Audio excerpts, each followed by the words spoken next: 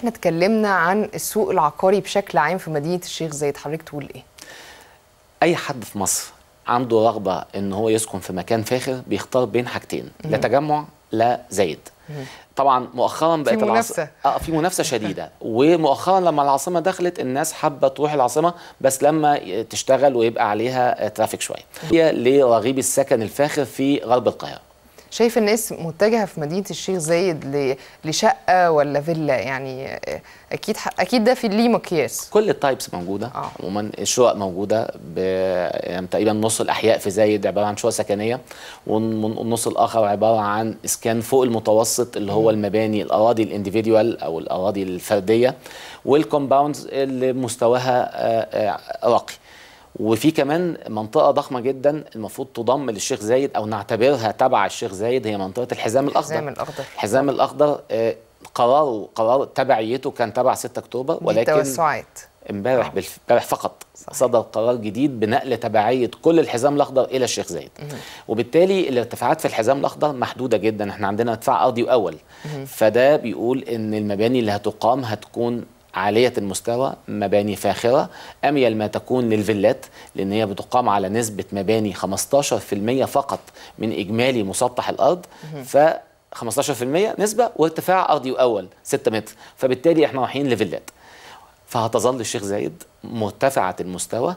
آه، ما زال منطقة الحزام الأخضر لسه المرافق فيها مش جاهزة بس الدولة آه، اعتمدت ميزانية فورية لإنشاء المرافق في خلال سنتين جايين إن شاء الله هل نقدر نستخدم التمويل العقاري؟ ما ده سؤال لا. التمويل العقاري لغاية النهاردة التمويل العقاري لغاية النهاردة لا يمول إلا الوحدات القائمة آه. التي لا يوجد عليها أي مخالفات صحيح. ومكتملة صحيح. المرافق صحيح. فمنطقة الش... منطقة الحزام لا مش هتدخل تمويل دلوقتي طب خليني أرجع مع حضرتك إمتى الحزام الأخضر هيبقى جاهز؟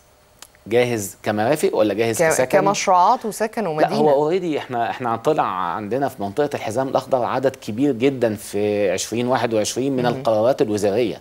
فالمخطط العام اكتمل اعتمد تم تعديله مرة واعتمد مرة تانية وبالفعل في شركات كثيرة جدا قامت باستخراج القرارات الوزارية والتراخيص وبادئين كونستراكشن فأعتقد إن خلال سنتين ثلاثة هنشوف شكل مختلف لمنطقه الحزام الأخضر. لمنطقة الحزام. الأخضر. طيب نقدر نقول إن منطقة الحزام الأخضر دي آه، زايد الجديدة آه، هتأثر على مدينة زايد ال- والأسعار اللي موجودة فيها؟ يعني ممكن الأسعار تقل شوية؟ لا بص حضرتك مفيش أسعار بتقل. مفيش أنا أسعار بفكر بتقل. بدماغ العميل. لا لا مفيش أسعار بتقل. بالعكس هي كمان محور دهشور آه، في كم مولات تجارية اتعمل عليه.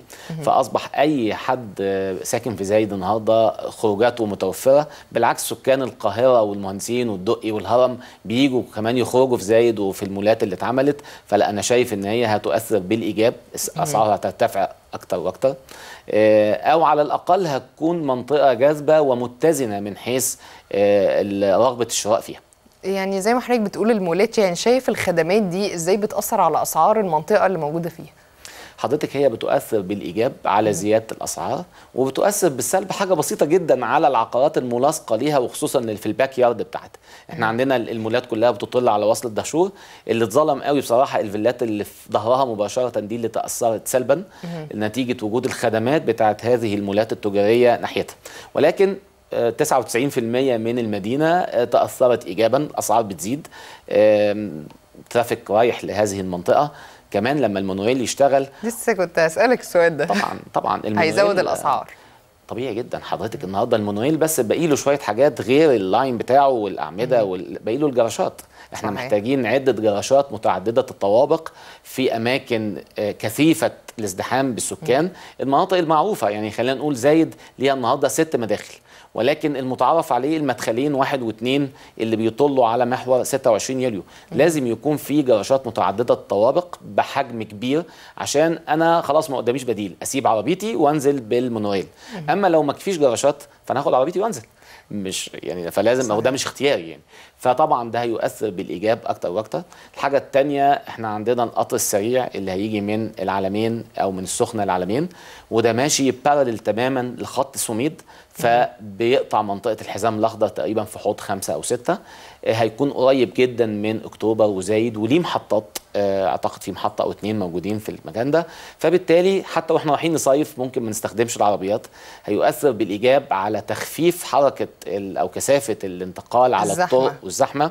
هيأثر زمن الرحلة وبالتالي هيشجع الناس على الحركة أكتر وأكتر. أنا بصراحة اتشجعت. طب يلا بينا. خلينا نطلع فاصل ونرجع نكمل على 6 أكتوبر. أوكي. مشاهدينا. هنخرج فاصل صغير ونرجع لكم على طول. خليكم معانا.